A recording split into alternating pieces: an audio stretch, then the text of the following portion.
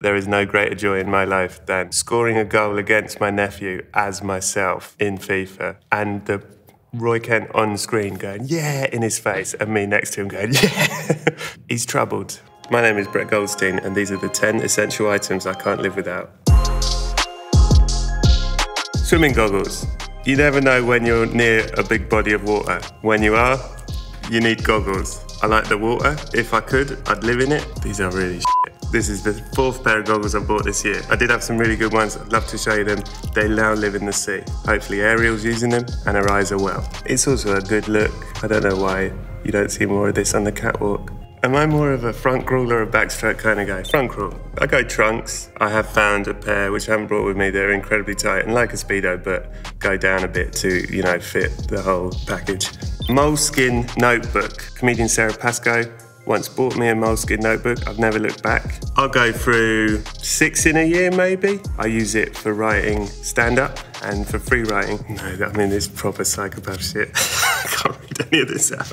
If I ever die and these are found, people will start looking for the bodies. Sometimes it's not all writing, sometimes it's, you know, drawings of my um, family. It's got me to this table.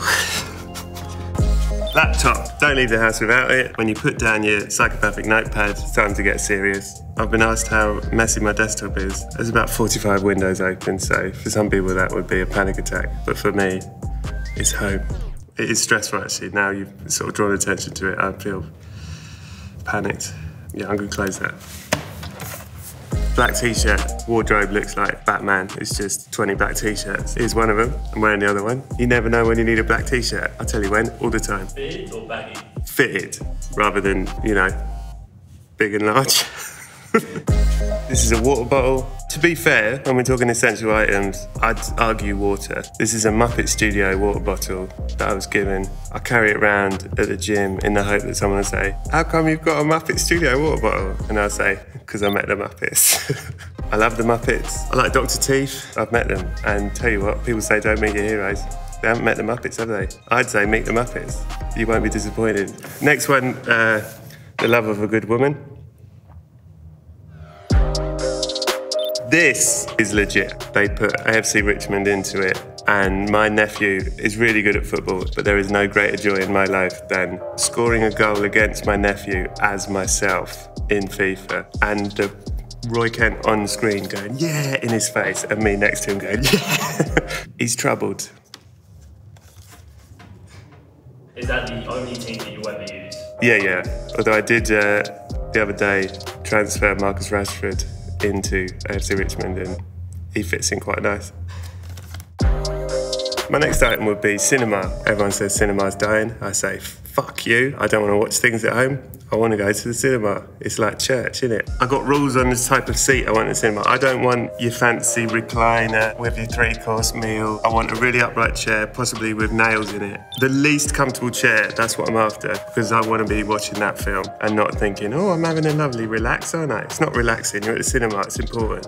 What was the last thing that you watched in the cinema? It's the best film I saw recently was Banshees of Inisherin, which is fucking phenomenal. Protein bar. You're doing stand up. You're out. What are you going to eat? Protein bar. Doesn't have to be this type. Sugar free, ideally. I'm not what you'd classify as a foodie. That's a good meal. There's a uh, mum's gym near where I live. 18 mums and me, and we do a circuit together, and I try to look as non threatening as possible. Am I big into fitness?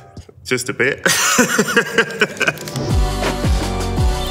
You're on a desert island, you've only got a Blu-ray player and there's no cinema. You're going to take the greatest film ever made, Don't Look Now, and the greatest TV show, Twin Peaks. I guess you're going to watch them over and over until you run out of food or power. I don't know where the power's coming from on this desert island. Maybe I'm building a sort of crank. Uh, Twin Peaks changed my life. I was eight. Me and my sister came home from somewhere, went to say hello to my dad. He said, shush, shush, shush, and we sat down and we watched it. And it scared us so very badly. I moved a mattress into my sister's room and slept on the floor to this day. And I'm still sleeping there.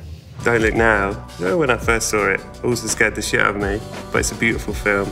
And a lot of films have copied it, and they should be ashamed. also, There's a sex scene in it, renowned for like, oh, did they, didn't they? Amazing sex scene, but it'll also make you cry. Crying and watching sex. That's a day out. Piano book. I'm shit at piano, but I really love playing it. I played when I was little, then I stopped. Then I played when I was older. I find it calming, not for people listening, but for myself. You're never too far from a big body of water. You're never too far from a piano. This is Billy Joel, the world's greatest singer-songwriter. Can I have that on a desert island as well? One Blu-ray with a crank and a piano. Oh yeah, I'm gonna need this book, sorry, because I can't remember all this.